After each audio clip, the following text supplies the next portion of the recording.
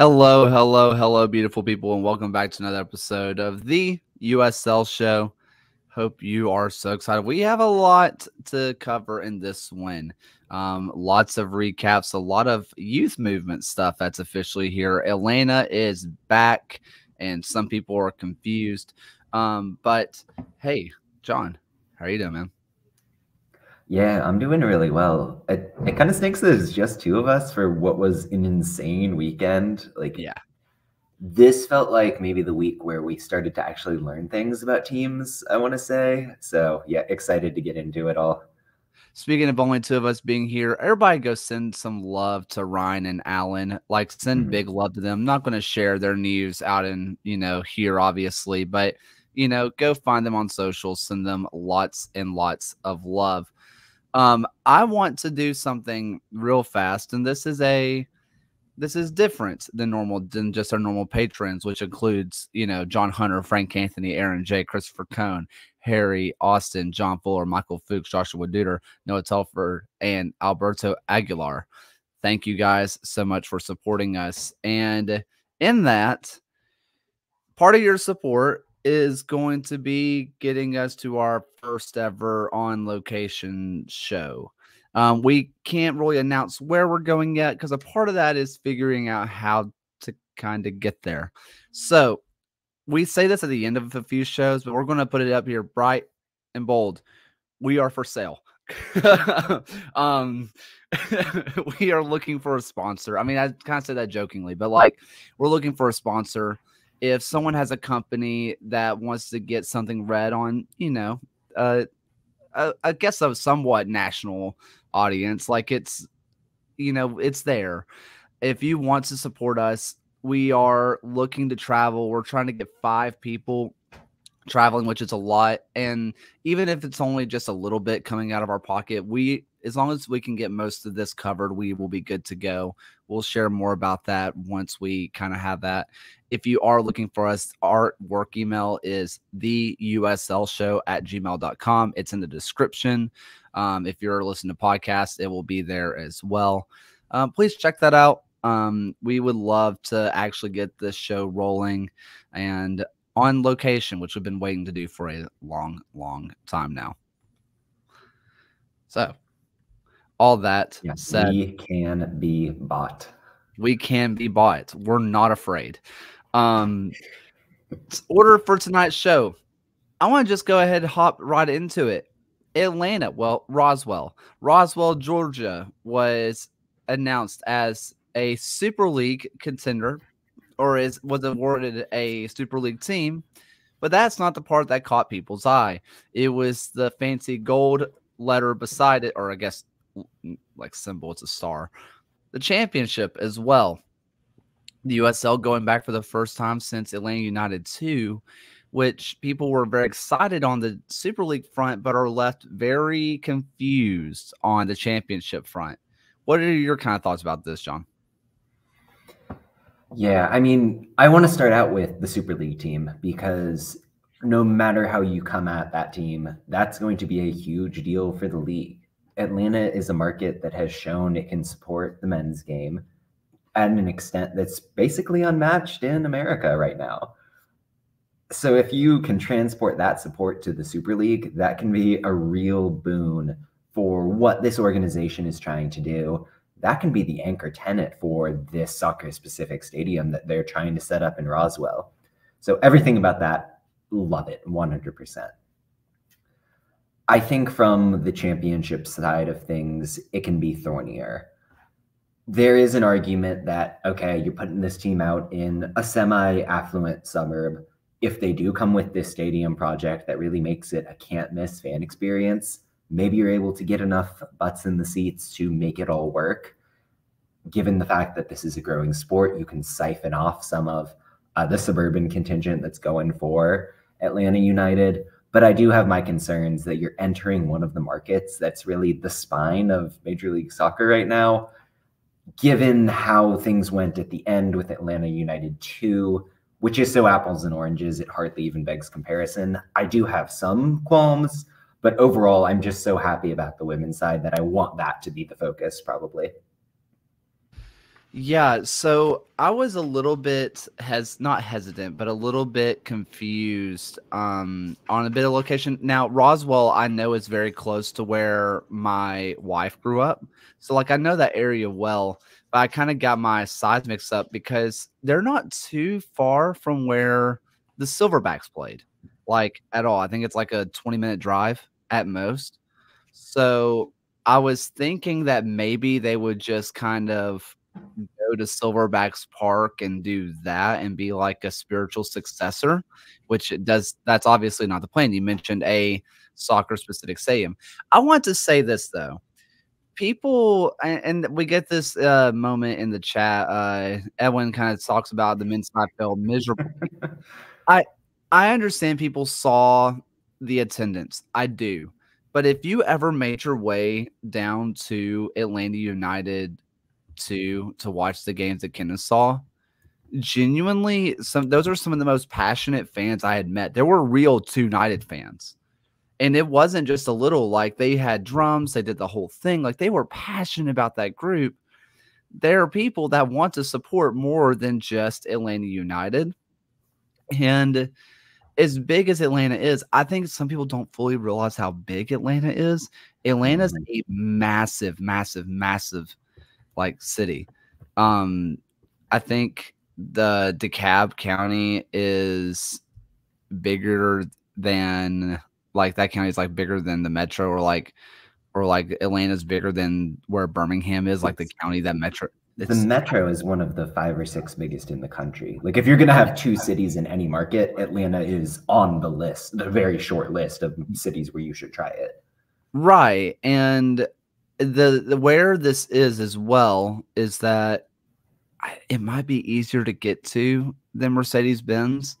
Mercedes Benz for Atlanta United, it's it's a beautiful facility. I get it. I've been there several times. It's wonderful. It's not the easiest to get to.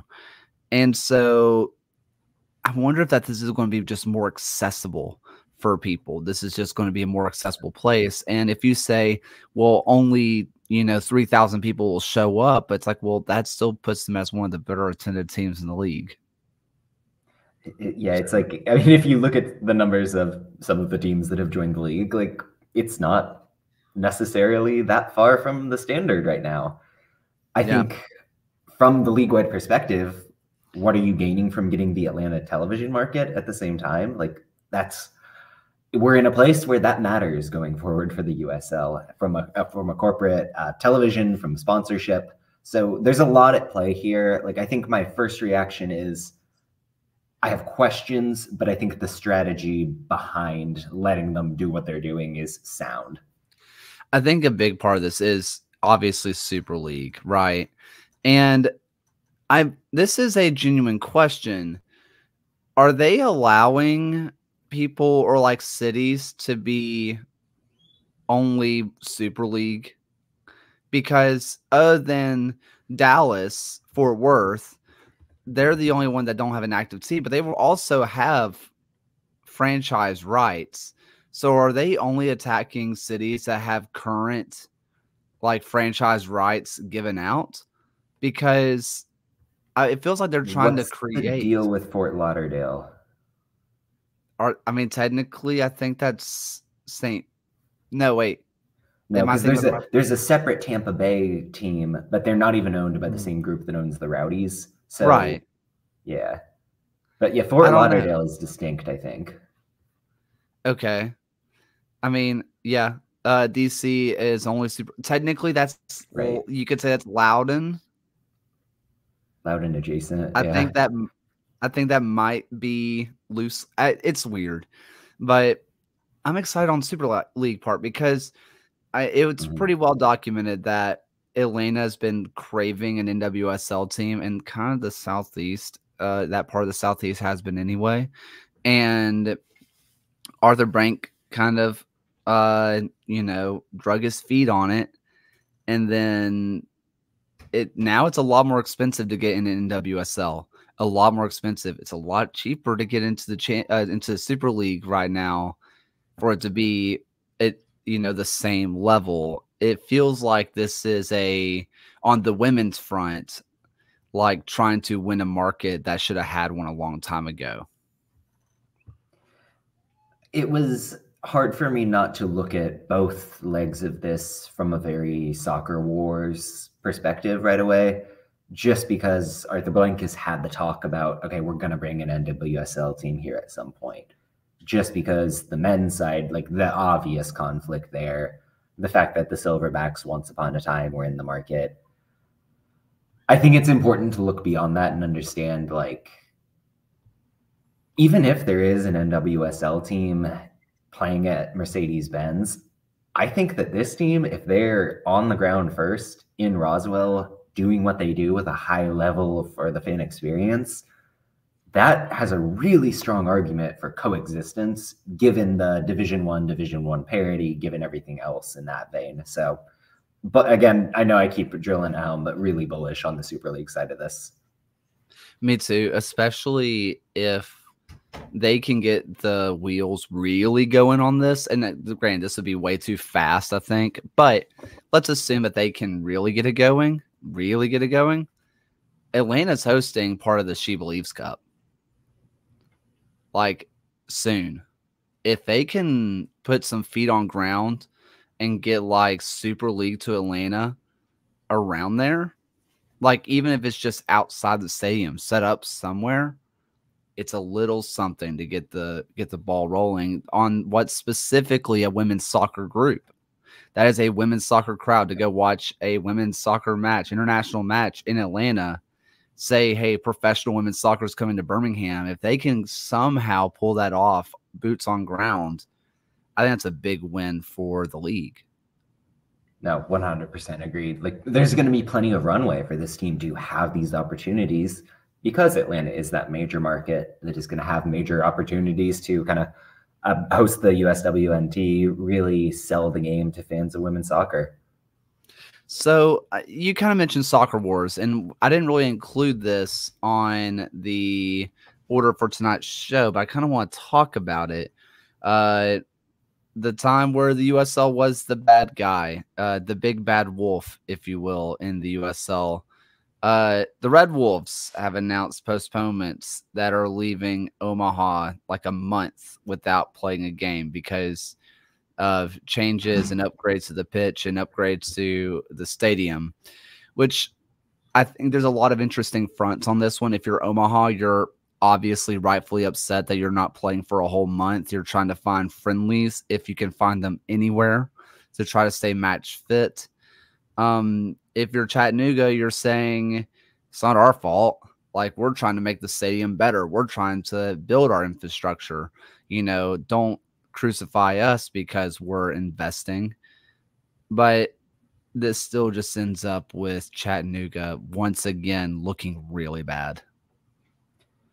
If you're Chattanooga, and what they cited in the press release was okay, there has been a lot of inclement weather. We couldn't get the grass properly installed in the way that we wanted.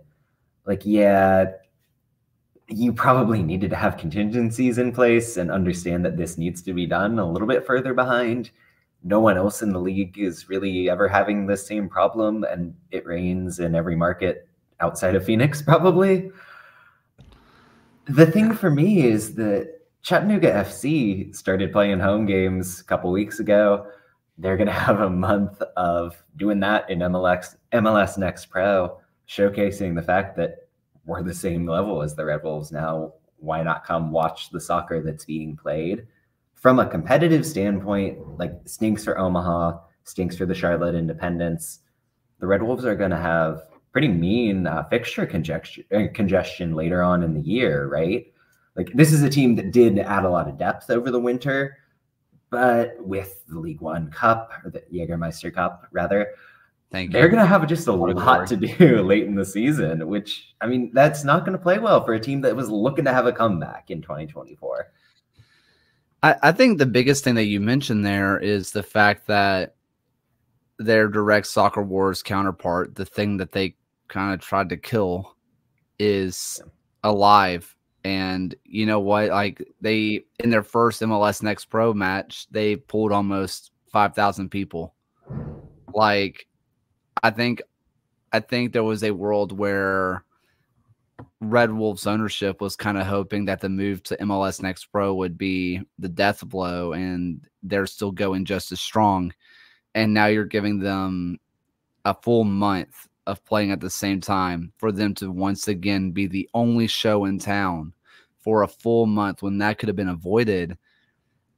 And, you know, there's a little bit of me that says, you know, soccer karma, like the soccer gods kind of find a way. But also, it, I'm just, I don't, uh, there's going to be a lot of crapping on ownership today. I'm just going to let that be known. Um, but if you're going to like start a soccer war, you better be ready to fight it. It's not as simple as USL big and shiny, your NPSL team bad. You you know we're better than you because you built all they've done is shoot themselves in the foot. I can't think of the last time Red Wolves have done something, and I'm like, good for Red Wolves. Like they're doing something really good. I mean, Uh, they're building around their facility. When I went up there, they're they're really building around that area, and it's really nice. It's really cool that they're building apartments and stuff like that. Like they're trying to build up that area, but other than that, it's just constant, just stepping on rakes. No, it feels like everything since 2022 has really gone wrong, like a real Murphy's Law situation where even when they're trying to make the right decisions, things are just getting in their way. And I mean, this is another example, right? Like, say it is the just that rain has been the problem on the pitch. That's unreal, and it's yet again just terrible luck for the Red Wolves. Yeah, I want to, you know, unless you have anything else on this, I want to move on to the new initiative that the USL is doing. So, the new initiative um, and by the way, Red Wolves, yeah, they won the Open Cup first time they've ever done that. I mean, good for good for Red Wolves for winning in the Open in, Cup. When, by the way, what was an insane game where they yes. went down a man, blew, almost blew the lead. It took added time, like just crazy stuff for the Red Wolves. I mean, they kind of keep the old like League One thing of if a team gets a red card, they're still going to win because League One. I mean, what year was that? Was that 2022 when like teams who went down a man just yeah. kept winning? Yeah. Stupid. Um the USL has said that they are starting a new initiative where they are allowing um, the addition of two players uh, to the home club's match day roster. Um, and that is the headline. I, I kind of wish that they would have talked about that more than just saying youth movement in the headline.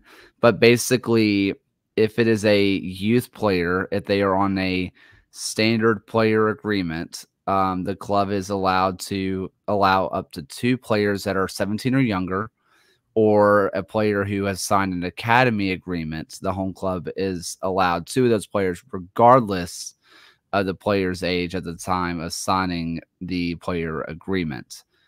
So you'll have a follow up story on this in the morning. Thank you, Nicholas Murray. Hashtag subs- subscribe to the Rondo. Like, please actually do that. It's really good stuff. Um, mm-hmm.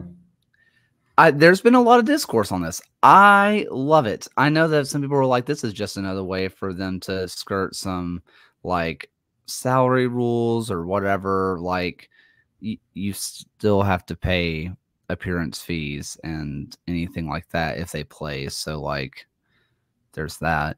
But also, some people and kind of br- rightly brought up, uh, Brandon McCarthy brought it up himself. Yeah. This feels like it kind of favors the home team a little bit, and yes, like it does. But th- and I think this is also this my own opinion.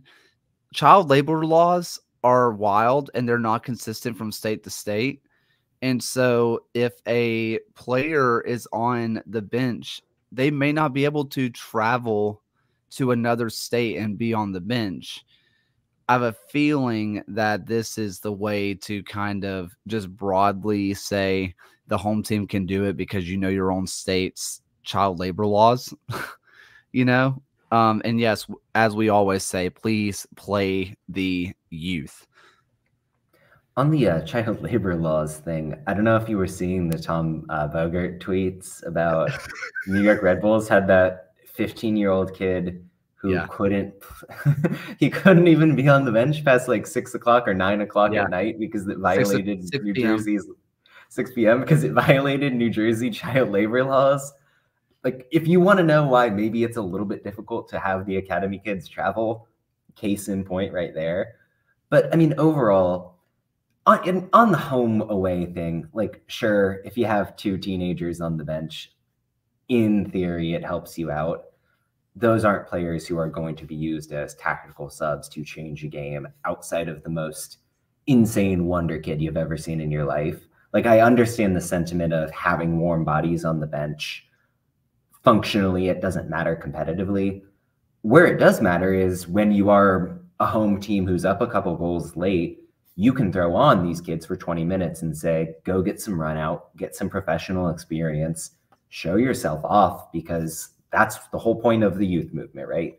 We want these kids in the shop window showing off that they can compete against grown men so they can be sold on and have better opportunities for themselves and benefit their club in the process.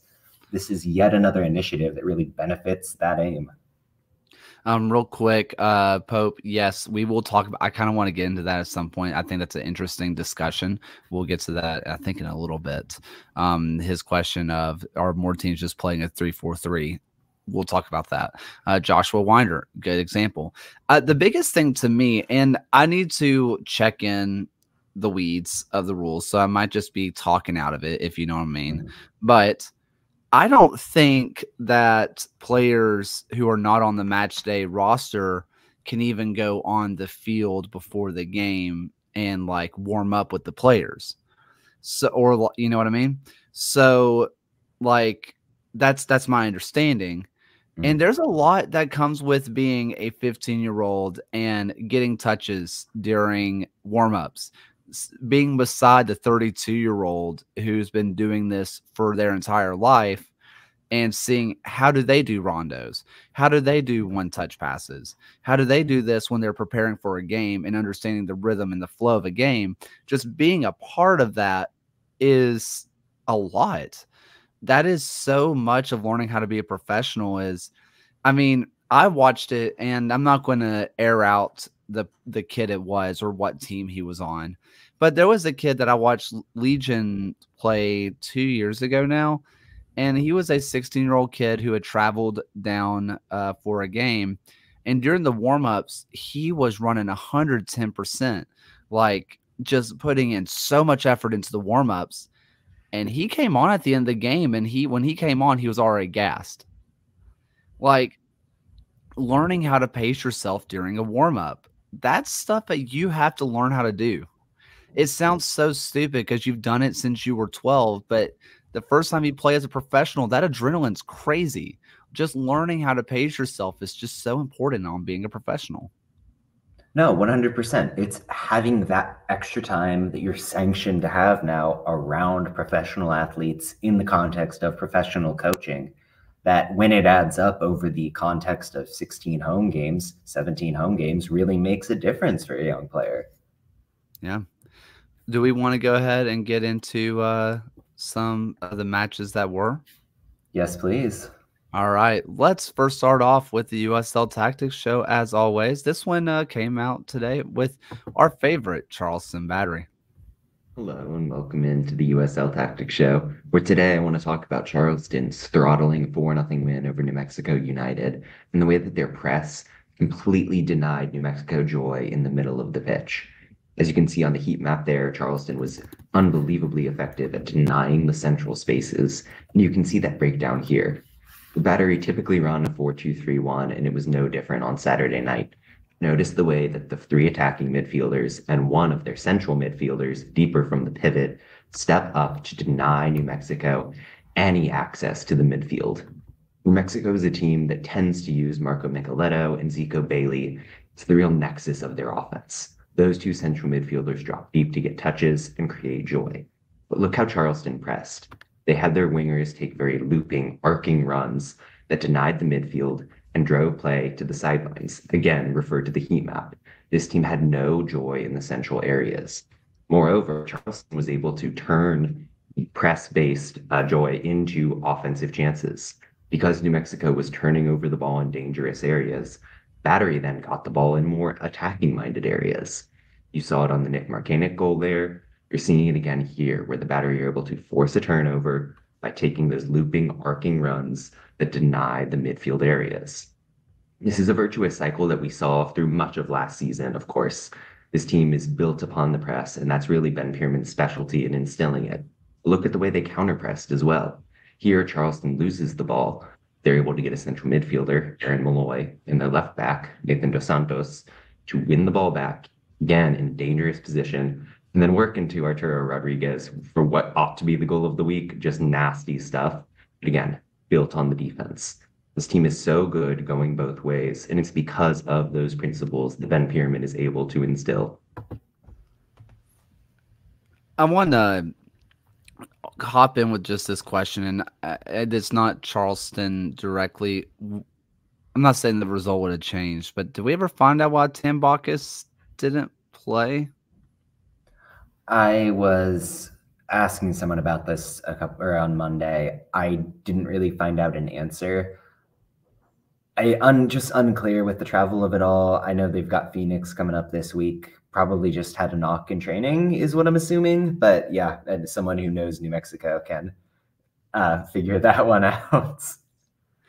Yeah, I mean that one was that one kind of blew my mind because I mean Tambakis was on a heater, like an absolute heater, and I'm not saying that changing your goalkeeper automatically means that you give up four goals. I mean but with the run that he was on, you feel like a few of those probably get saved.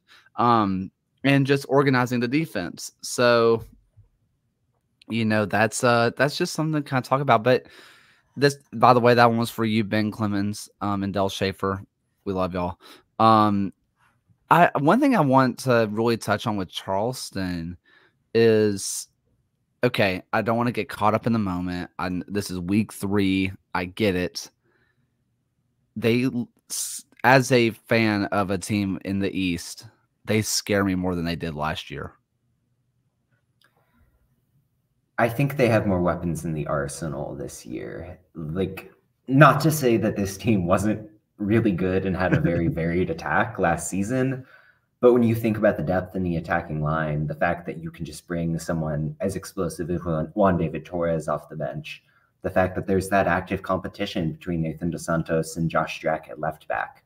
So much uh, energy, so much skill in the central midfield.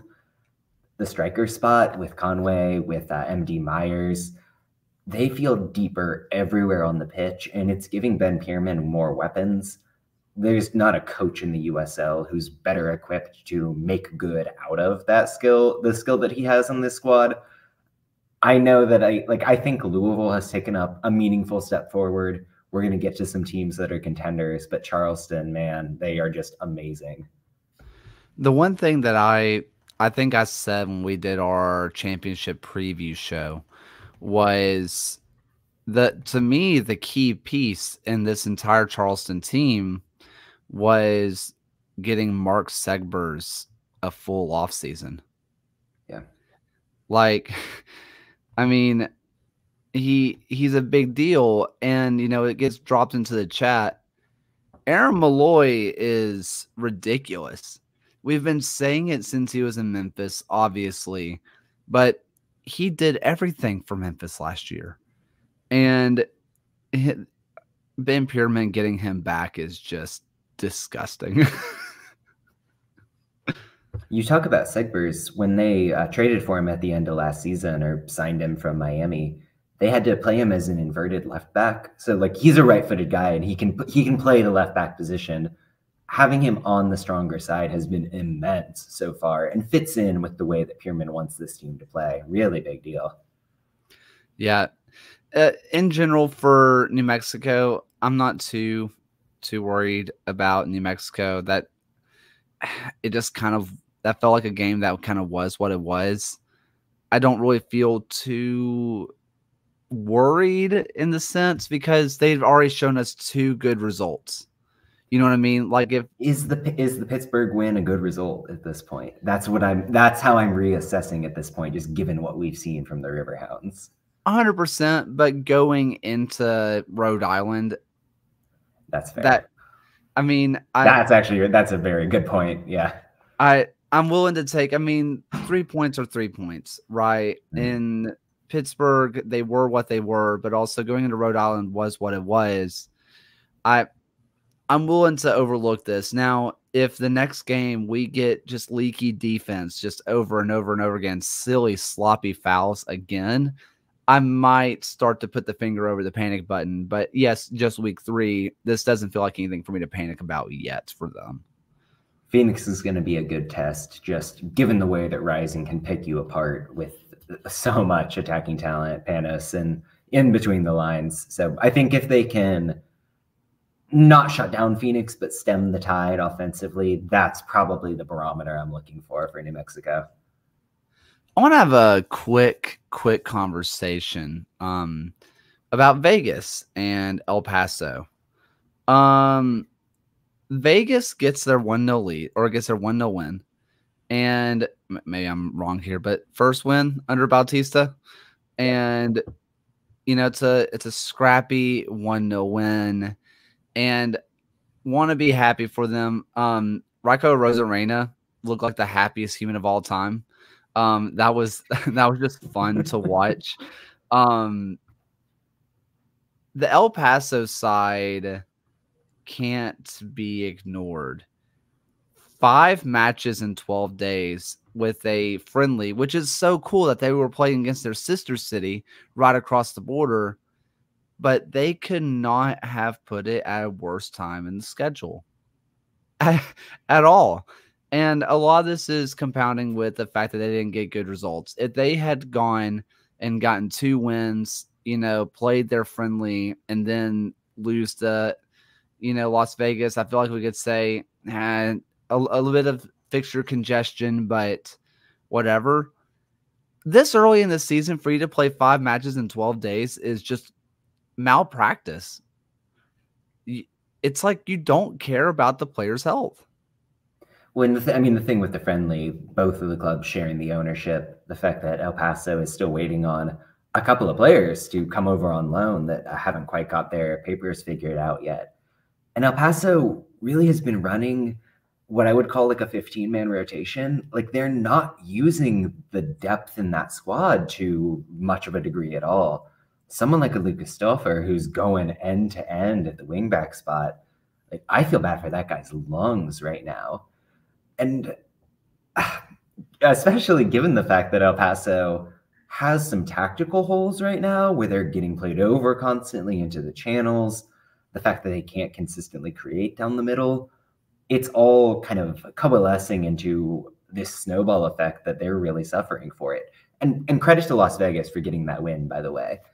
Systematically, I think Dennis Sanchez is making the right changes that they need to make I think that they really put a priority on the defensive solidity on the wings. When you're putting Joe Zhao and Gausu Samake there, those are guys who have played fullback in their careers. Like they still have the speed to get upfield, do damage alongside Corey Bennett, but there's a real two-way effect to when you have them versus like a Solomon Asante, who, while he's still a great player, he's not necessarily that defender. And I think it was totally the right call to kind of stem what the locomotive do but El Paso came in weak for the reasons we've delineated, and Las Vegas took advantage. This is kind of where I want to talk about the um, kind of the conversation that got brought up earlier with the three four three. Um, this was, you know, El Paso has been running a three man back line, and I think of the three, I think three of the four USL teams they've played so far kind of typically run a three man back line. Um, if I'm just kind of remembering off top of my head, um, there's a lot of three man backline, and a lot of that comes down to the fact that uh, Europe, you start seeing a lot more of it, and as all things go, tactics kind of work its way down. Like it is, tr- it is trickle tactical economics, basically. It starts up at the top and it slowly works its way around and works its way out.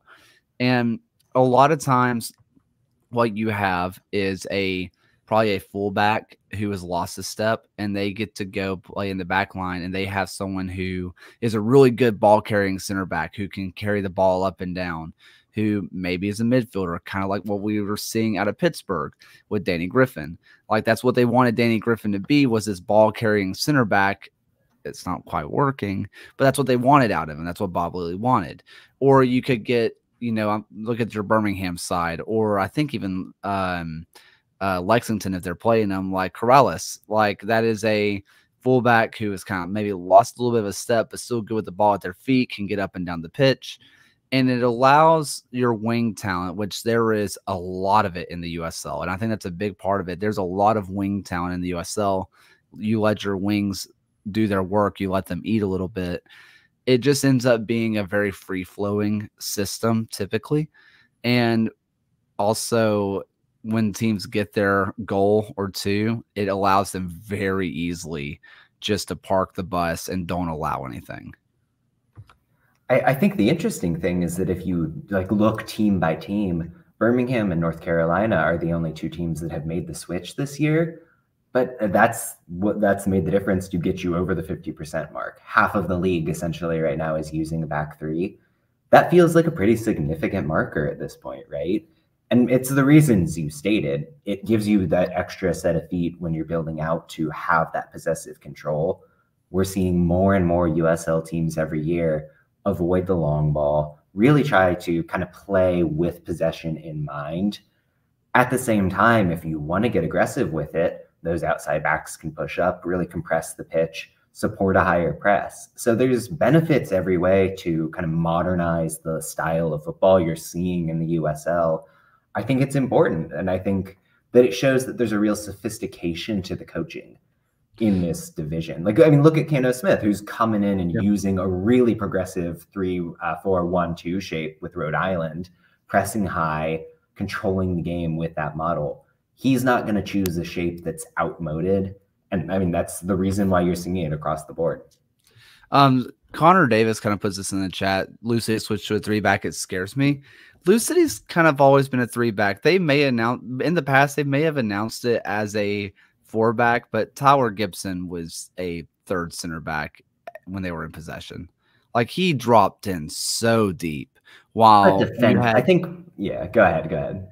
Well, I was gonna say, like, whenever you had like Oscar and you had Dia really bombing up the wings, yeah. like I mean, Gibson was sitting so far deep. You were essentially running a three man back line, even when they weren't. Now, when they went to a proper three man back, like Gibson was getting up, like he was getting up there and he was very, he was wonderful with the ball at his feet. But whenever they were running that four man back, he was just dropping in constantly. Well, that's where formations are kind of a crapshoot. Like Louisville was gonna be a back three team when they possessed, no matter what, even if they defended with four defenders and then that holding midfielder so like at a certain point it is academic but i think the fact that you're just seeing more teams kind of move players around in that way just a further good sign uh, what Popes uh, uh, puts into the chat or what Birmingham do, is doing with Enzo. I don't know what Birmingham's doing with Enzo. He's a CDM center back striker. Everything you Classic. want a man to be. a normal combo. Let's go ahead and move on just a little bit um, real fast. I would like to get to Orange County versus Miami. Um, John, start fathoming. They're getting results. Yeah, you know it's good when I get the quote tweet from Miami FC to tell me to start fathoming. I, I, I do think like we've praised Nocerino a lot in the early stages of the season because he's got this team so well drilled it's a it's a more sophisticated style of soccer than I initially gave them credit for. Like in that first game, he came out and wanted to just play over the top of Colorado Springs, and that made sense for that game. Against Orange County, Miami barely played the long balls. They weren't route one. They really wanted to go to that Orange County press up. And when the moment struck, they were going to hit into Alan Gavilanes because he is unreal in transition but that wasn't the only way that they could create chances or break through.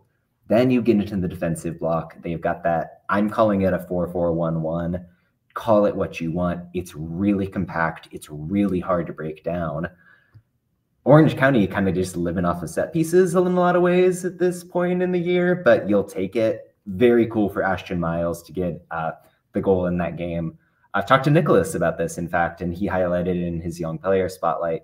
Miles is a guy who's homegrown, came up in the OC system, as opposed to the Oceandinas, the Kobi Henrys, who kind of developed elsewhere and came in to Orange County SC like it was a finishing school. Miles is their guy, and to see him be one of the best central defenders in the league so far and then get the goal, amazing stuff. So I think a lot of positives on both sides.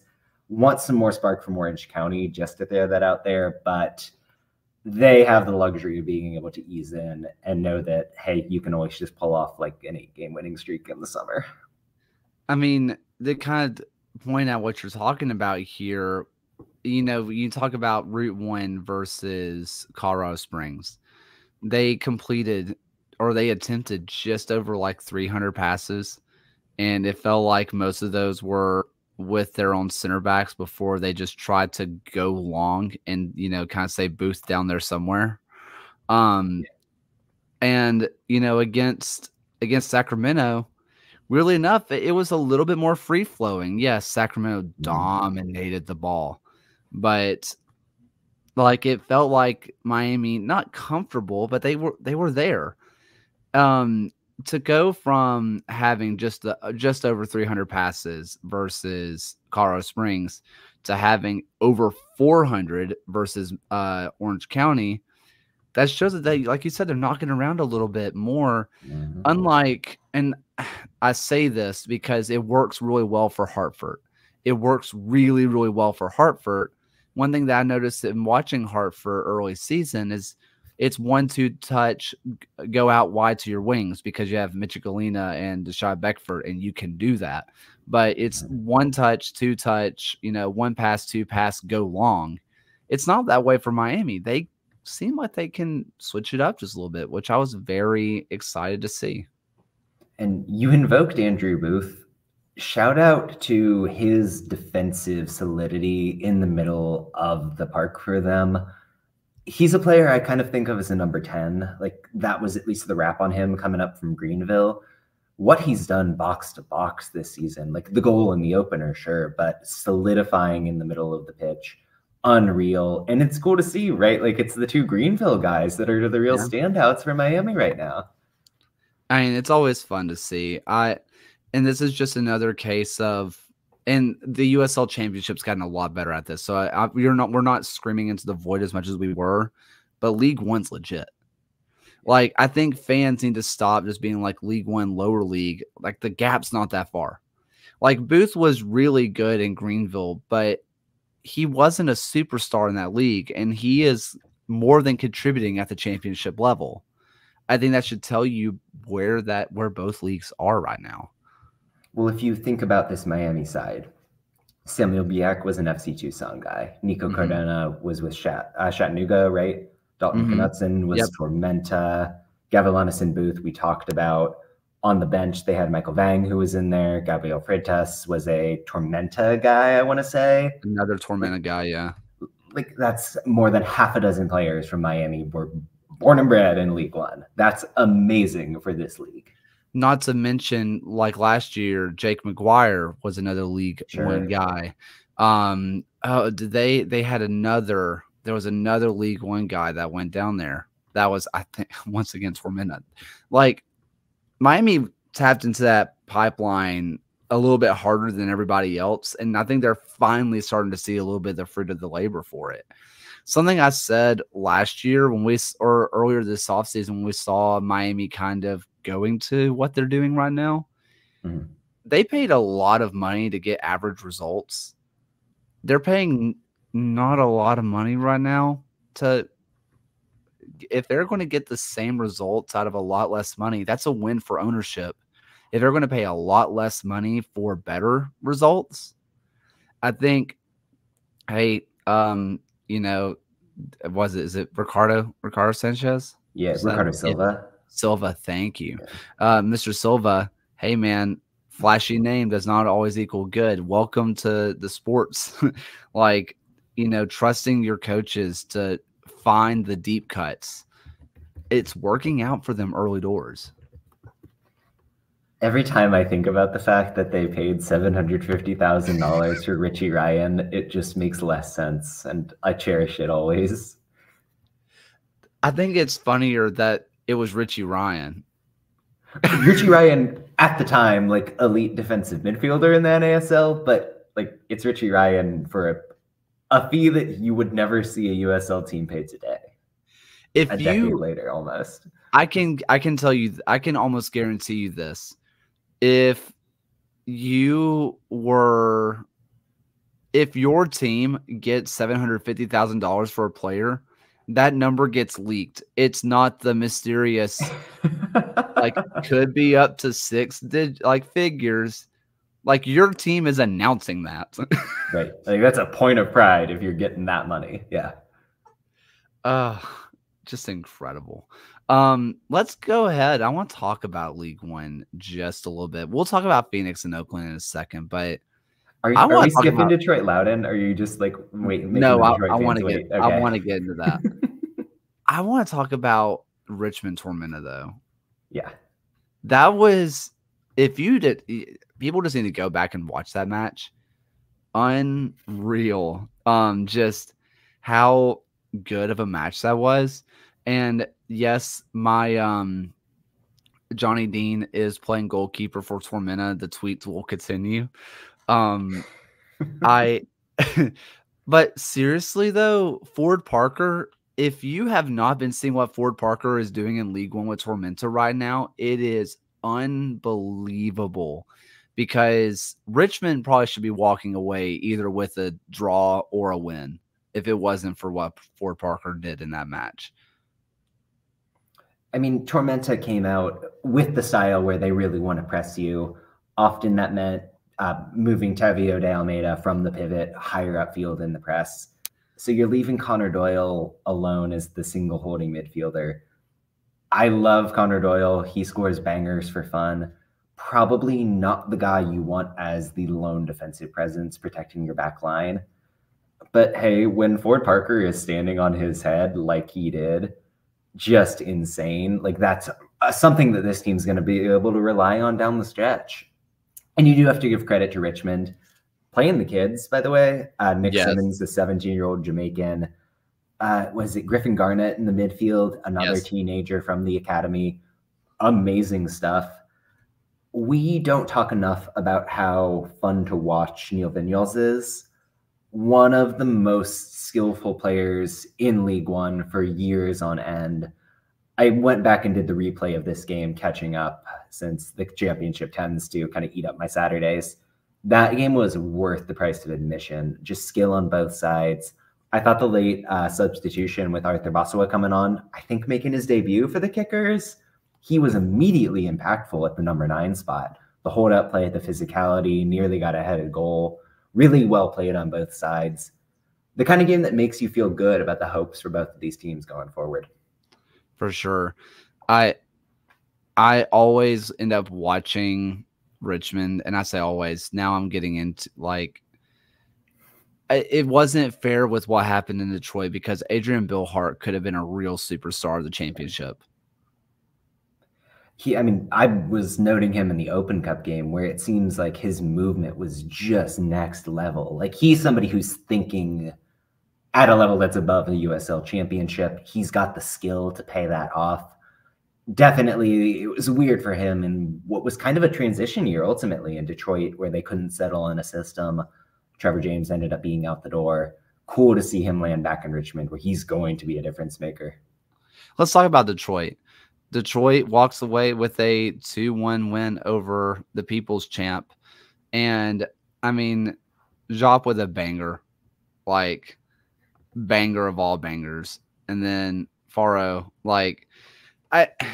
yeah You- here's okay. Here's one thing I will say about this with Fauroux, and this is something that um, hashtag ad. If you listen to the Jake McGuire for the glove of the game, something that he talked about a lot was refusing to pass on pressure to his defenders. Like there was several times I asked him, I was like, "You had a defender open. Why did you kick it long?"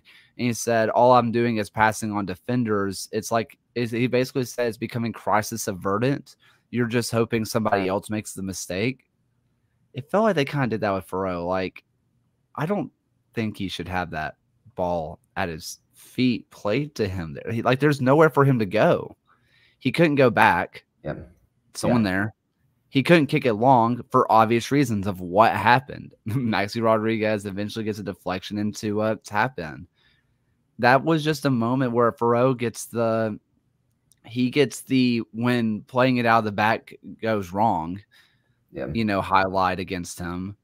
I don't really think that's him. Like, there's nothing he could have done. No, I think in a lot of ways it's systematic. Like Loudoun, even in game one against the San Antonio press, that was a lot harsher than Detroit's was on balance. Like Loudoun did not want to play a long ball in that game at all.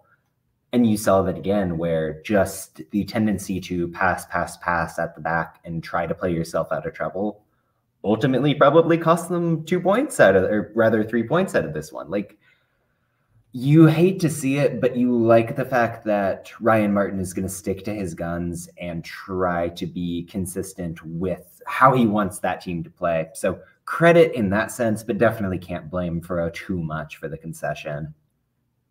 El- Elvis Amoh, I I think I said this last week, maybe, or I said it somewhere. Elvis Amoh feels like what they missed from Hopano. Like hmm. there's a there's an excitingness to him. There's also a grittiness that comes into his game that it just seems like and like Nicholas Murray is saying, is like see where he was pre Hartford. I it's really interesting to see just kind of what he did, just a knack for being in the right place at the right time. It, I was kind of impressed with what he was doing defensively too. Like he was putting in some work. um, you know, trying to win balls back. It it felt like this is already a team that's already playing as a team with Detroit. I think on both sides, just watching this game, seeing the style, the way that they pass, the way that they move off the ball, this felt like one of the most technical games of USL soccer that I've maybe ever seen, which is a it's high compliment. There. It's up there. And when you're thinking about this, and no offense to the clubs, but it's Loudoun United in Detroit City, right? Like they've come out playing incredibly good soccer. And in that second half for Detroit, especially, they sharpened their movement in a way where uh, they just couldn't be stopped. And Mo was such a huge part of it, the way that he was dragging defenders out of shape, the way that whenever there was a turnover, he was committing in the counter press. I think he's an interesting guy just because he can contribute defensively, but you've got to feed him in attack or he's going to be a little bit disinterested. And that's how a lot of strikers are. So seeing him engaged like this right from the get go is huge. Just, I mean, I'm loving everything about Detroit right now. And they've not even needed Steinwascher to like be Nate Steinwascher to get there already. So when push comes to shove and they're playing against the Charlestons and the Louisvilles, they have that extra level where listen, you've got probably maybe the best goalie in the league right now with Nate Steinwascher, on top of the fact that they've got a banging 10 outfield players in front of him, really high on Detroit. I want to kind of go to Loudoun just for a second. Yeah. I think a lot of people are going to look at underlying numbers and be like, they're not creating a lot, they're not doing this, they're not doing that. Their hot start's not sustainable. They're like it's just like last year Loudoun despite their underlying numbers when i say underlying numbers typically you're looking at your xgs your you know your expected goals your expected assist um you know just general like press you know presses per defensive action or you know that kind of stuff right you're looking at that kind of stuff and saying is this sustainable compared to last year despite the underlying numbers not looking amazing for the output they're getting this looks sustainable this looks like this can be repeated. And like you mentioned with Zach Martin, he's going to sustain what he's doing because he's not changing it. He doesn't care. He is going to keep doing what he's doing. And if anything, I think there's something to that in the fact that if it's not working, he'll find a player that makes the system work.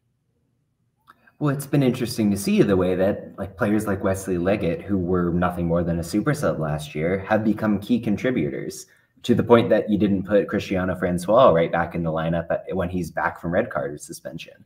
That's a vote of confidence, but it shows the fact that there's depth here. And we've talked about it ad nauseum, but the difference between this Loudoun team and the one that hasn't been able to sustain is the fact that you've got McCabe, you've got Skundrich, Erlandson and Hughes have been unreal at center back. There's a spine and a sense of I don't know, control. Like these are error free players in a lot of ways. And you've never seen that from Loudoun United before. So it makes you feel good going forward for Ryan Martin and co. I want to quickly, I mean, super quickly hit Lou City versus Pitt. Um, yikes out of pit. I mean, look, all credit to Lou City. They look every bit of being the juggernaut that they are. They look like they are fully back back but also Jesus Christ, Pitt. Also, listen, I there I want to just go ahead. I want to beat the allegations. Kizza is the guy who scored the three goals versus Birmingham in the playoff game, like you know, two years ago. so before it comes off as salty Birmingham fan, yes, but also no. You eh, with how things have started for Pittsburgh, I don't think Kizza can taunt the Louisville faithful after scoring their first goal of the season. I will say that Kizza was pro- maybe Pittsburgh's most engaged player, and I'm choosing my words carefully because I don't want to maybe say good. But like I think if you're Pittsburgh right now and anyone is taunting any fans, that's a bold choice. Like you want to have the confidence, but you got to back it up, and they are not backing it up. Uh, to what Connor Davis said, Bob Lilley had a 25 minute conversation with the uh, team on the pitch. That's the shortest Bob Lilley conversation of all time. Yeah, that's um, a likely place for Bob Lilley to be. um, at times, Louisville looked like they were playing with their food especially the last goal. And you wrote about this. Um, hashtag ad. Um, yeah. but it looked like they were playing with their food. like, yeah, well, I mean, well, for Pittsburgh, there was a 20, 25 minute stretch coming out of halftime where they really started to press. They got their teeth into the game a little bit. It felt competitive. And then Louisville realized wait, our counter press is amazing. Ray Serrano is tearing it up in the middle of the park. They can't beat our center backs. We can just grab this game by the uh, the and by the neck and really just take it to them. It was encouraging to see this team find the goals. There was maybe a lack of chemistry up front between Serrano and Harris and Perez in that El Paso game. They could have got a couple more for me against the Locomotive and by the time they were in the second 45 against Pittsburgh, they were clicking in a pretty meaningful way. It's hard for me to see a team that's clearly better than Lou City right now. Like they feel like they've got the players, they've got the system. This is the year that they're really going to reestablish the fact that we're Lou City, we're going to the conference final, and we're going to deserve it. Quickly, let's go over to Oakland Phoenix, where Phoenix finally looked like kind of last year's title run Phoenix, where you mentioned Panos earlier, where he looked mm-hmm. unbelievable. And Paul Blanchette is in Paul typical Paul, Blanchette mode, where he's just standing on his head and just stopping everything. You know, I feel how many times last year did we say, oh, Oakland lost 1 0. Paul Blanchette had like 12 saves. Like, he's the wall. yeah. like it's another game like that. I Phoenix, I'll be honest. I, I know the questions we said earlier was where the goal is going to come from. I also trust that this team is going to create enough chances that goals will come, and they finally did. Oakland, a team that you said early on, you know, you mentioned the chameleon. They can kind of just form into anything. They barely created anything, and the only thing they created, none of them were on target. Like are you like worried about Oakland at all, or is it just uh we're like it was just a one-off thing? So Oakland last week got hit with some sort of illness, some sort of flu bug where half the lineup was out. This week they're missing Tambakis and Neveal Hackshaw with international duty. You have to put a Cam Riley, Daniel Gomez pivot is just not what you want to see if you're trying to move the ball at all. And the fact that they couldn't break Phoenix's press to save their life was kind of game over from the get go in this one. And credit to Phoenix, who took full advantage. I think for Rising, the interesting thing offensively was the offense was more than just Panos and Rito on the right. Like Armenakis was able to dish the ball out to Juan Azócar from that left wing back spot. Then Armenakis had the freedom to make those runs like you saw in the game winning goal. If he can go and get into the box when Derek Formella just isn't doing that or Remy Cabral doesn't quite have the chemistry, that's going to give Rising that secondary scoring that they need to pay off the abundance of chances that they're creating. I think that for Phoenix, like that Monterrey game where they really laid an egg was probably an aberration. This feels closer to the level for them. And it should have Rising fans feeling pretty good because I thought they looked immense. Yeah, I mean, to be fair, this is kind of what we saw in their first game versus Birmingham, where they were creating chances like crazy. It was just where the goals going to come from, and you know, everything just felt like it was coming from a wide area. I mean, I mean, yeah, you mentioned Formella winger playing up top because he's a winger who's playing up top. Um, I it is hard. I mean, Juan Azócar, the fact that we're not saying Loney Juan Azócar is kind of weird to me. I feel like that's I that, that one's just weird, but you know, I mean, he's great. I love watching Juan. He is so much fun when he's on. When he is himself, there's no one else like him in the league, and he's just so much fun. I mean, the fact that they've got Azócar and Rito back together after what they did in Oakland, like that's going to be a weapon. Everybody knows that those two are an offense in and of themselves. So mm-hmm. really fun to see Azócar healthy and playing after whatever happened in San Antonio. Um, Nicholas Murray kind of put in there right now. Matt Van Oekel is going to be playing the Paul Blanchette role this season. 19 yeah. shots on target allowed by Legion have only conceded the one goal. Yes. Just that's insane. gross. Um, real fast. Um, we might touch that one. I don't know. Uh, Lexington one Knox. Yes. Um, you and I were not out on Lexington, but we did not have them as the consensus one seed when we did our USL League One show. Mm-hmm. And this is not us saying that Lexington's a bad team by any stretch, but I feel like the early cracks that we highlight on the show are very apparent right now. I, w- I wrote a little bit about them last week in terms of the fact that they just aren't getting any offense from their right side right now. Like Tate Robertson has not been able to get the ball. They've not got Christian Young generating anything from the right back spot. Credit to Jorge Corrales, who really has been the one initiator simply Lexington doesn't have the guns they need to distribute from the back, and it's hurting them. Ates isn't getting touches. He's got three shots all season.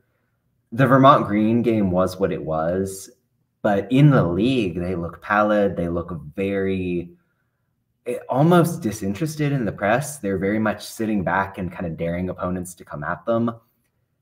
They have the depth and the skill to go at teams and dictate the terms of a match, and they simply aren't doing that right now.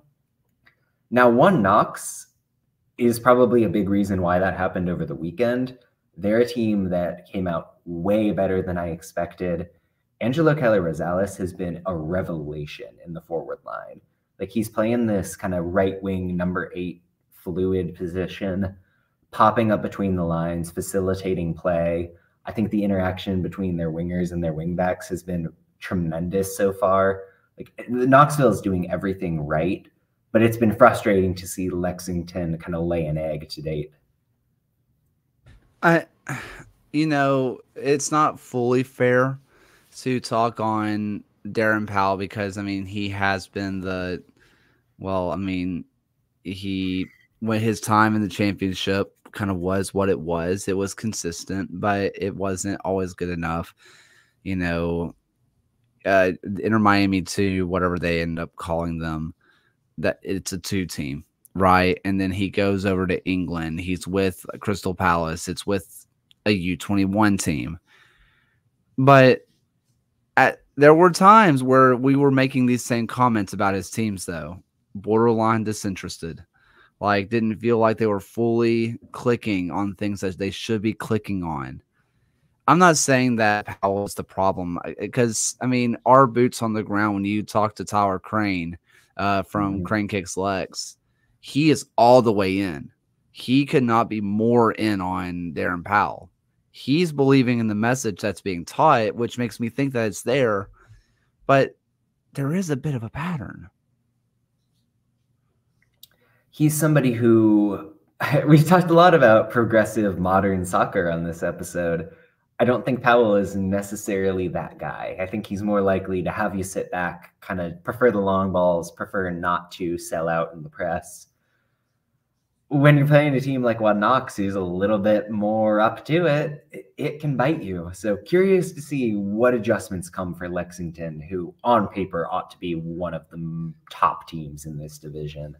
And we mentioned one Knox in our League One uh, you know, in our League One show about how their offseason wasn't sexy, but I think we both kind of said there's has to be a reason why they didn't really change anything. They surely they just believe from within and early on McKeever is proving us right and wrong and saying, yeah, the answer was already right here. Why will we need to spend more money when we spent it last season? It's already here.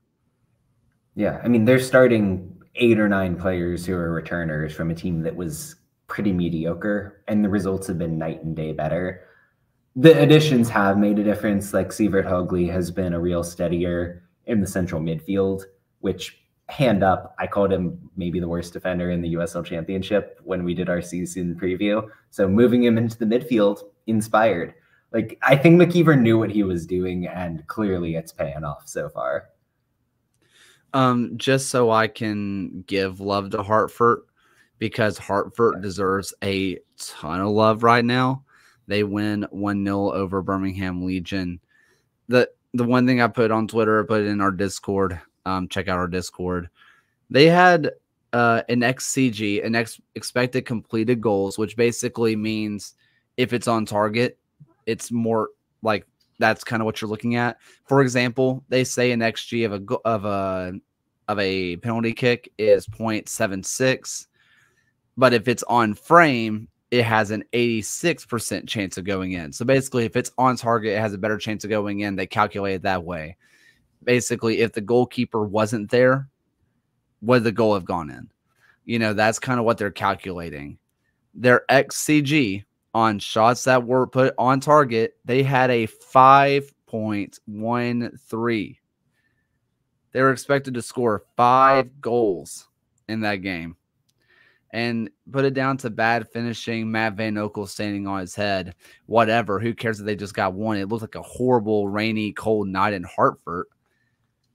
That was an unbelievable, unreal offensive performance. Just an unreal offensive performance from Hartford. When you think about the fact that Romario Williams was gone with the Jamaica national team and they're starting like teenager Mamadou Dieng, like that makes the performance that much more impressive to see. I mean, what you got out of Beckford and Ngalina on the wings was simply ridiculous. Like, I actually thought Birmingham came with a fairly considerate approach to how they wanted to defend that team. And you can point to errors for sure from the Legion. But what Hartford was doing on the wings, you could have put them against Man City and they would have got some results. Like, those players are cooking at a level that is utterly ridiculous right now. Hartford is going to be so dangerous. Yeah, I I think one thing that I got to mention here is Mji Marana, who was the right back, uh, right wing back for Birmingham Legion. I can't think of a much worse time to get your first professional appearance than having to go against Michee Ngalina. That should That's be messed illegal. up. That's messed up. and we got to give credit to the team of the week player from Hartford here and Anderson Asiedu, who uh, clearly sure. came out came out just passionate. He was dominating the central midfield. I you can talk on that, but I was happy to see him really have a banger of a game. the scoop assist was gross. Disgusting. like I it was unbelievably good. Um Anderson almost had a real nice goal. Matt Van Oekel denied him as well. I mean, Anderson was a was distributing the ball well, just defensively, just great, connecting the play so well. It sucks to be on this side of it, but also it's so nice to just see him playing again. I think a lot of the USL forgot just how good Anderson Asiedu is, and he showed it. And I'm just saying, maybe it was Legion not letting him fully spread the wings he didn't have that kind of assist in his locker last year. And if that's what Brendan Burke is going to be getting out of him this year, whoa. Yeah, I mean, I, I, think that's sort of the beauty of putting two kind of number six, number eight players next to each other is that they've got that give and take. And Asiedu clearly feels pretty liberated to, like you said, spread his wings and kind of be creative, which, hey, if he's got it in his bag, let him do it. Yeah, no kidding. Um, yeah, it was just a fun match. I I don't want to. This is not to me being too salty or anything like that. Like I, I do want to say that outright. It's kind of hard for me to tell what went fully wrong on the Birmingham side mm-hmm. because a lot of the things that I was looking for, the cameras just weren't picking it up. Like you know, like they didn't have as many camera angles as you would want. So like if I you know, sometimes they show alternate views of certain things and they just didn't have that. So it's hard for me to really get into the weeds of what Birmingham was doing wrong, but boy, were they showing what Hartford were doing right. Just unbelievable. That's my big takeaway from this game for sure. Um, let's go ahead and predict some matches. Why don't we? Um, just fun stuff. What are you doing, dummy? Oh, God. you got a nice, nice audible meow there. he he gets the zoomies at about 9 p.m. and 5:30 in the morning. Every other time he is just asleep Ooh. and having a blast. Like just sleeping. Yeah, you. Yeah. He's as sweet as can be. But God bless him. Um let's go ahead and get into these predictions. Why don't we? Let's start off with Phoenix versus New Mexico. Phoenix, you know, gets their finishing boots on in New Mexico. Well, they got shellacked. Can they respond? Yeah, I mean, a nice Southwestern rivalry game here. New Mexico is still a team that I believe in, even though clearly I thought that uh, Charleston kind of had their number. The question for me is Is Phoenix able to sell out and shut down Micheletti and Bailey as those deep lying creators without kind of sacrificing their shape and throwing off their own offense?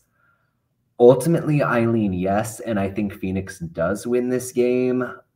I think it's going to be a real litmus test for both of these teams, though. I agree. I think we're going to learn a lot about these teams, even if it ends in a draw. I think that we are going to learn a lot about both clubs.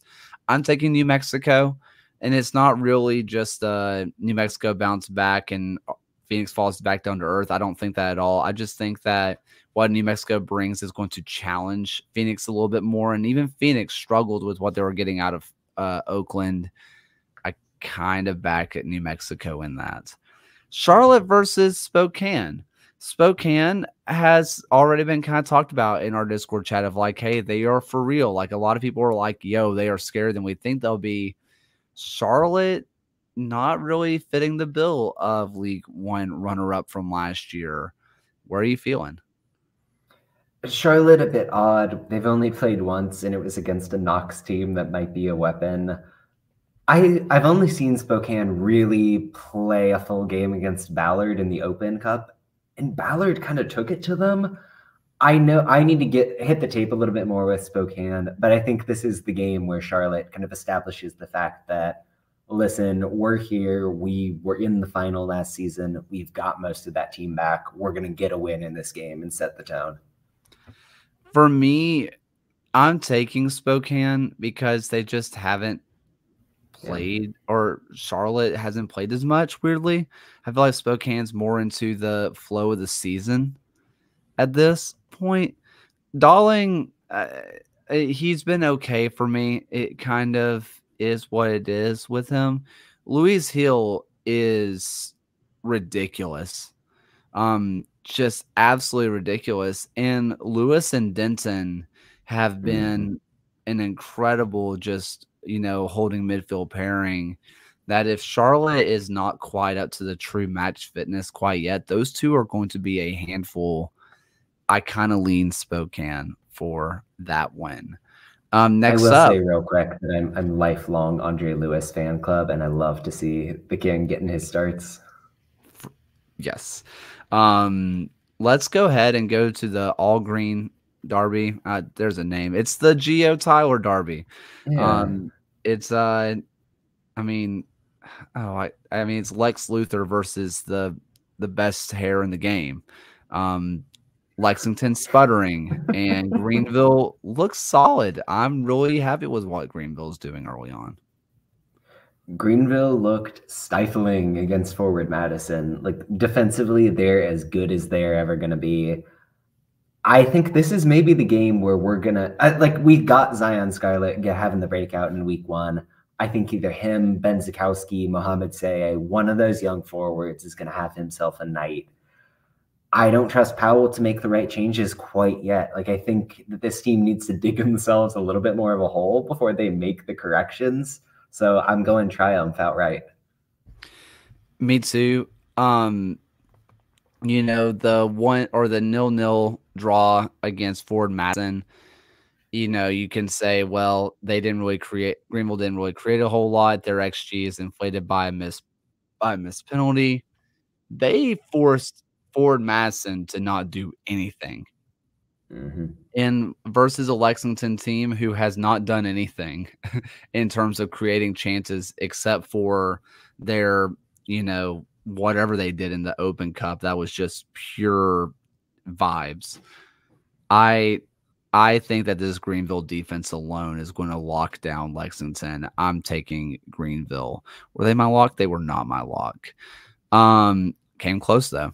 Um, Tampa Bay versus Rhode Island. Tampa Bay, hey, like they look like they can be dangerous. And we talked about last week. Forrest Lasso looks like he's Forrest Lasso again, going against Rhode Island, who gets a 2 2 draw against Monterey. But this is not your preseason Monterey. Monterey looks like they are for real. Tampa Bay, Tampa Bay, Rhode Island. What'd I say? You started talking about Monterey. Oh, never mind. Never mind. I got the drift. I zoned. Yeah, yeah, yeah. Yeah, yeah. Small recap to do the preview. Yeah, yeah. I'm getting confused because we got some maybe have Monterey coming up in these predictions. So oh yeah, yeah, yeah, yeah. I got my zone switched. But in any event, Tampa yeah. Bay against North Carolina, a team that presses in a 3-4-3 that is not dissimilar from Rhode Island's. They held the Rowdies to 0.2 expected goals last week. Tampa Bay just could not break them down. Granted, they did get a goal from like the one sequence where they were able to get Lewis Hilton dictating play from the middle. We're going to need to see more of that. Rhode Island, the big question mark is Koke Vegas's health after the injury at the end of the game on Sunday night. Even without him, I think that they're really well set up to go and win this game. I think they're motivated to finally get that first win on the books. I'm going to Rhode Island pretty confidently. Don't forget what Jackson Lee is, by the way. I mean, Jackson yeah, Lee was a first round pick goalkeeper. MLS teams don't take goalkeepers in the first round. Like, he's real. and when they do, they go and sign Hugo Lloris and then release the guy. Yeah. I mean, if it's me, I mean, you know who I'm taking, and it's not Hugo Lloris, but whatever.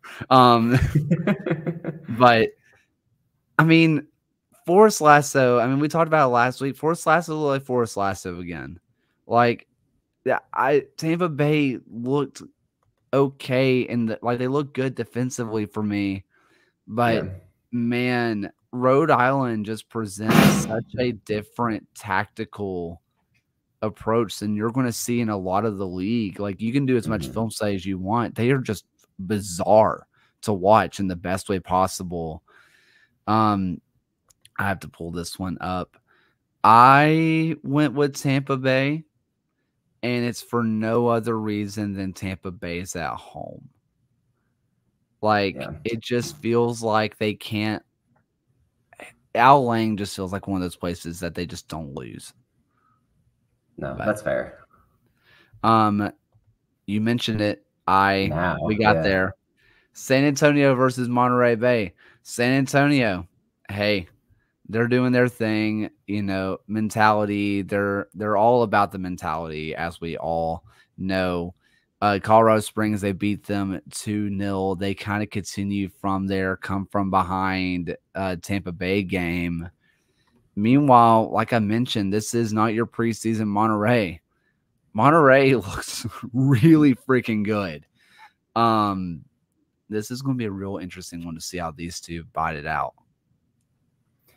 I'm so excited for this matchup. I think Monterey Bay, the way that they're able to have their midfielders control the game, that Baca Fair, uh, uh, Adrian Rebollar trio, that's going to do a lot to beat the new look San Antonio.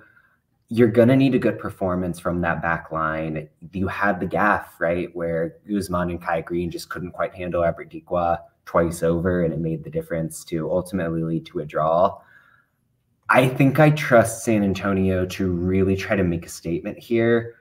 So that's not to disparage Monterey Bay, who I'm 100% in on, but I have San Antonio getting this win. If you look at our uh, predictions that we put in our Discord, I put Monterey with a question mark. Um, Yeah. I'm I'm like not really sure because I trust in what San Antonio's doing. Uh, there is something to be said about long term success. It's the same reason we just kind of blindly trust Lou City good. Like it's the same reason why we blindly trust Bob Lilley good and why the beginnings of the season for Pittsburgh are so shocking for us, right? Until Marcina and Co prove to me that they're bad, it's hard for me not to trust, right? But God, Monterey Bay looked so good. I'm taking Monterey Bay because I feel like what they're doing is sustainable. I feel like it can be repeated, and I'm really intrigued to see what it is. This is my personal game of the week. I think I'm, I'm probably with you on that. Yeah. yeah, this is a good one. This this and uh, Knoxville Tormenta, I'm excited for. Knoxville Tormenta. I'm excited to see if Tormenta can really conti- continue, especially with Coley gone. I know he was gone before, but also, or will he be back? Or- I don't know he's not- He's on international. If he's back, he's going to get limited play time. But you know, that's going to be an interesting one. That's going to be that one's fun too. Can I just shout out Philip, or he goes by Ajmir apparently, Ajmir Spengler, who is ridiculously good on the wing for Tormenta. He got a really nice goal or maybe an assist against Charleston in that preseason friendly right before the year started. Mhm. He got an assist in their latest game. He's on fire so far. Yeah, that- he's unbelievable. Another just much watch. Uh, Shadow Wolf. Uh, we've already done the Phoenix, uh, New Mexico. Just go back just a little bit. It will be in there. Um, yeah, there's a lot of good stuff going on right now. Just Yeah. so much good stuff around the league. Um, yeah, lots of we talked about. Heavy hitter of an episode. Um, so yeah, I uh final thoughts for the night, unless you have another USL. No, I got nothing more USL wise. Uh, final thoughts. Been a busy stretch for me. Just been trying to chill, uh, keeping up with Shogun. Started back into the revival of the old uh, anime X Men animated series on Disney Plus. They brought that back from the grave, and I don't know if it's like good necessarily, but it's like comfort food. So enjoying that. Yeah, it's kind of like um I I know sometimes we just kind of put on like reruns of Friends and stuff like that. I don't actually watch it. It's just background sound because it's there and I just kind of it it's there for me. Yeah, I mean, this is like, like I've read the comics, I watched the old series, like just seeing this stuff, like I know where it's going already, so it's just like I zone out and I'm watching, but not really. Fair. Yeah. No, I need to watch Shogun. I always tell myself I need to watch Shogun, and I still haven't watched it, but I need to watch it. But also need to watch both Dune and Dune 2 because I feel really left out. You kind of missed the cycle on Dune too. So if you just hold strong for a little bit more, you're going to be good. See, I kind of did the same thing with with Ted Lasso. I still haven't Yeah. seen it, and I I feel like the the wave is gone. So I've forgotten that I haven't watched it, and then I'm just like, ah, need to watch yeah, it. like the statute of limitations is passed. Like you don't have to do it anymore. Yeah, true. Um, let's see. My interesting. Oh, um, tomorrow at I don't have to teach band or Spanish because I have been voluntold to play it in a volleyball game. this is the most school like you're teaching kids thing ever. Yeah, they were like, they walked up to me and they were like, "Hey, we're red tomorrow," and I was like, "Is it Red Ribbon Week? Like, what's going on?" They're like, "No, you're playing the senior boys in a volleyball game," and I'm like, "Why am I doing that?" And they're like, "Cause we raised money for the library." And I'm like, "We did what?" well, you've got the height. You're gonna be spiking it in these kids' faces. Some of those kids can dunk. I'm screwed. That's a good point. Yeah, senior in high school, like you've lost the athletic edge at that point. Like they're in their athletic prime, and I'm just not. Yeah, arguably, I've never had an athletic prime.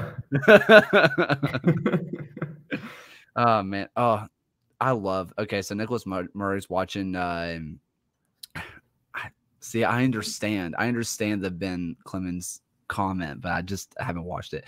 Uh, New Zealand versus England. Uh, cricket. I I love cricket. I watch so much cricket in my free time. I'm watching baseball and cricket. If someone's filming it, I might try to get a video and see. Like if I fall on my face, there will be a video of it somewhere. So that'll be posted eventually. Yeah, on Um, some high schoolers TikTok. Ah, I've already been there. Um yeah. Oh, speaking of tomorrow, soccer down here, 10 a.m. It's we'll we'll be on there and talking about ATL stuff. So Yeah, never been a better time to ch- uh, tune in to an Atlanta centric show, people. to be fair, they do a really good job of not just being so Atlanta. Oh, they're great. They're great, but still. They're great, yeah. But yeah, that's about it. Don't forget, people. Um, send good vibes to Alan and Ryan. Um, you know, check out what Phil just posted on uh, Twitter um, with with Malloy and stuff like that. Just he saw the vision as um, Charleston pointed out. And remember, people, for one last time tonight, we can be bought. We can be bought. The usl show at gmail.com um reach out. Thank you all so much. And you know here for the first time and final time tonight here's alan's voice Thank you for watching another episode of the USL Show. The USL Show is now proudly part of the Protagonist Podcast family. Please go to protagonistsoccer.com to check out more work. Thanks for stopping by. We'll see everyone again next time.